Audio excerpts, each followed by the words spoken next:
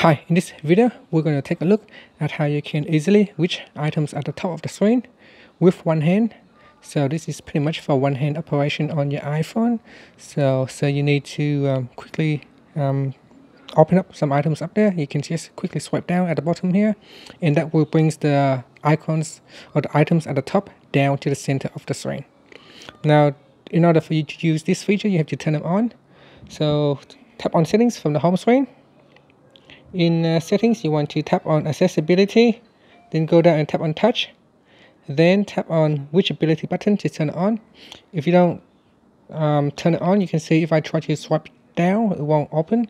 So make sure you turn it on and then from here if we swipe down now we can reach items uh, at the top of the screen. So that's it. So you can see if I launch um, Safari I can also bring it up and down like that and that's it. Thank you for watching this video. Please subscribe to my channel for more videos.